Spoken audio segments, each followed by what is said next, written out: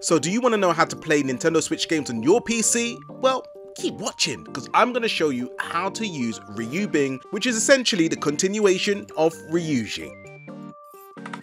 Sometimes information's worth more than money, and I've learned plenty watching you. Before I deep dive into this tutorial, just as an FYI, all the links are in the description. And if you have any questions whatsoever, feel free to leave a comment. Now we got that out of the way, let's get into it.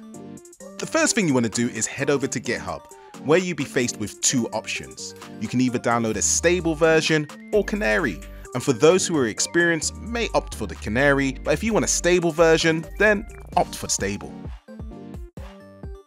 You then navigate to packages and you select the latest version. In this case, it's Ryujing 1.3.3. And you may be wondering, why is it called Ryujing? And that's simply because this is an extension of the Ryujing emulator.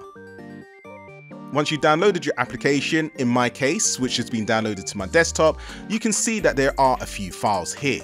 I've got my firmware file and I have my prod keys alongside the Ryujing zip file. For this emulator to work, you must have firmware and prod files. Unfortunately, I can't tell you where to get these files from, but they're pretty simple if you know how to use Google. One thing that you need to know is that your firmware folder has to remain zipped. You do not have to unzip your firmware folder, whereas the prod key folder you can unzip, which is what you can see here.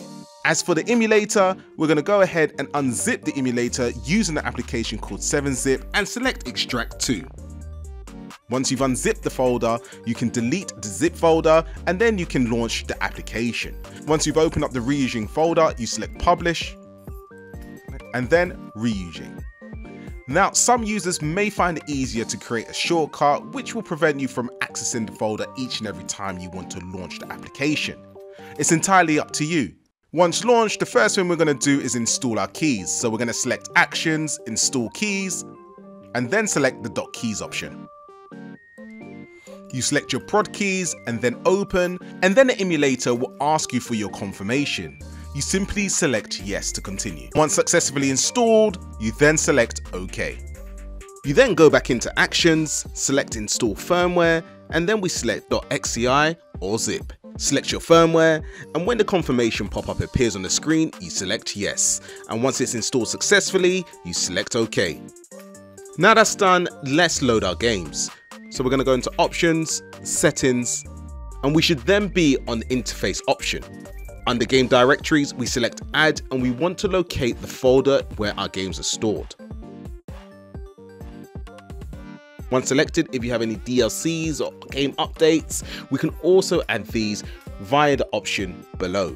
Now the DLCs and updates are used in emulators to make games complete, stable and accurate to the real Switch experience. So why does the updates matter? It addresses bug fixes, performance improvements, emulator compatibility, balance and quality of life changes, especially for Mario, Zelda and Pokemon. So if you do have any updates or DLCs, I do advise you to use this functionality to update them. Once that's done, we can then go into input. We use this option to map the buttons on our controller. Now for the purpose of this tutorial, I've already synced my PS5 DualSense controller to my PC. In case you're unsure as to how to do this, then please check out our other video. The link's in the description. However, if you do want to change any of the default buttons and mappings, then what you can do is select the button that you want to remap, then press the designated button on the controller. Or if you do want a Joy-Con setup, what you can do is pair your Joy-Cons to your PC and then under controller type, change the type to Joy-Con pair. This will give you a more authentic console accurate gameplay experience. If immersion matters more than ergonomics, Joy-Cons are the better choice. Now that's done, the only thing that's left are graphics. And on this tab, there's only two changes that I would suggest making. One would be the resolution scale and the other will be the aspect ratio. Resolution scale and aspect ratio exist to balance visual quality, performance and screen fit when emulating Switch games. The Switch renders most games at 720p handheld or 900 1080p docked. Emulators let you go higher. So what it does, it increases internal render resolution 2 times, 3 times, 4 times, makes games sharper and cleaner, and also reduces jagged edge. The aspect ratio controls how the image fits your screen. common options 16 by 9 which is native switch and recommended, 21 by 9 which is ultra wide, feels ultra wide monitors, and you can also stretch or custom to remove those black bars or distort images. Now that's done, you can click OK and then you can launch your game by just simply double clicking. So guys, I hope you found this tutorial helpful and if you did, please feel free to leave a like or go one step further and subscribe. And until next time, see you later.